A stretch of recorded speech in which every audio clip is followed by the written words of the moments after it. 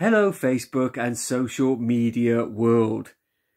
Yes, it's Christmas Day, and it's been an annual tradition for I don't know how many years that the Queen, good old Queen, does the Queen's annual speech. Now, I will admit, I've never watched one, but it seemed to me, since I've lived vicariously through social media, and you know, we did all our walk videos and stuff during the bonkers year that's been 2020 that I should do the first ever Stu's speech. That's right.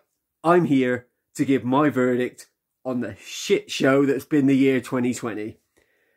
So you probably don't even remember that uh, back before all this COVID nonsense started, there was fires in Australia. So that was quite mad. All the poor koalas were getting cremated. Then, of course, we had the coronavirus, COVID, and we got lockdown and then we got up again. Then we got locked down, and we got up again. You're never going to keep me down. There's a song in that, but yeah, it has been a uh, bit bit of a shaky cam there. It's been a bit of a crazy, crazy year. There's been lots going on. He had to help out. That was fantastic. Uh, obviously, this was the year that we started to pull down statues and look at our history because slavery is not good. Uh, also, we had Black Lives Matter, the death of George Floyd, and all that malarkey.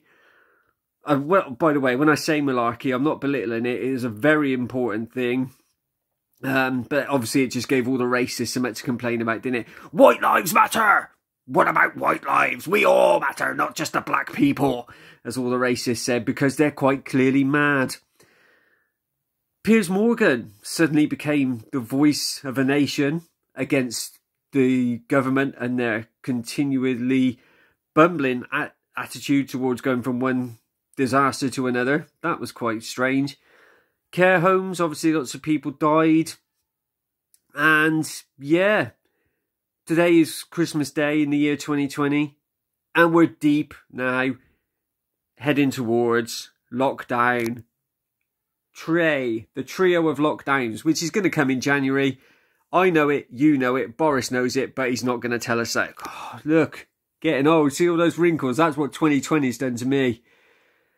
We had Zoom. We tried a Zoom chat at work. Didn't go very well, did it? I'm not going to say any more. We had Zoom chats with the pool team. Shout out to the clothiers, massive on the pool team. Families had Zoom chats.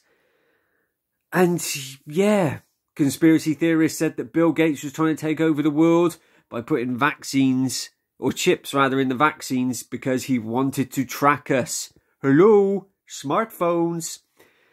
What else happened? Lewis Hamilton became a seven time world champion, which means he's now a better race driver than Michael Schumacher ever was. Liverpool won the football for the f- big shout out there to Wayne, he's a Liverpool fan, and to James. Yeah, they, they won the league for the first time in about 400 years although obviously it's always going to have that asterisk next to it because it had COVID. Stadiums reopened, beaches reopened, then they all reclosed. London now is in tier four, so that's in lockdown, but they didn't matter because people had three days to leg it and go and spread the virus all over the rest of the country. So, yeah, in general, it's been a bit of a shit one, hasn't it? Let's be honest. The Queen's never going to say it. She will say it's been an annus horribilis. No, it's been a shit show, but it's going to get better. We got a vaccine. It's going to work. We're all going to take it, and those who don't take it, well, sucks to be you, but you know, whatever. Yeah, let's look forward to the new year when the pubs will reopen, the clothiers and the Bowbridge and the lock keepers will all be back serving you your hot chocolates, your beverages, and you won't, hopefully, have to have a substantial meal because so much food going to waste is shocking. So enjoy the rest of your Christmas day. Enjoy your Boxing Day. Enjoy the week between Christmas and New Year. Enjoy your New Year's Eve where we all have to stay at home. And yeah, I will see you some point in the future, you know, be it across the bar where there may or may not be screens and I may or may not be wearing a mask. But yeah, just have a good one and make sure that you're looking after yourself, looking after each other. And yeah, if I'm back in a lockdown, because I'm basically back on furlough now, out of work again because the pubs have had to close, I will no doubt make more of these videos. But this is me signing off for Christmas. Have a good one, people, and I'll see you soon. Oh, and take care of each other. Take it easy.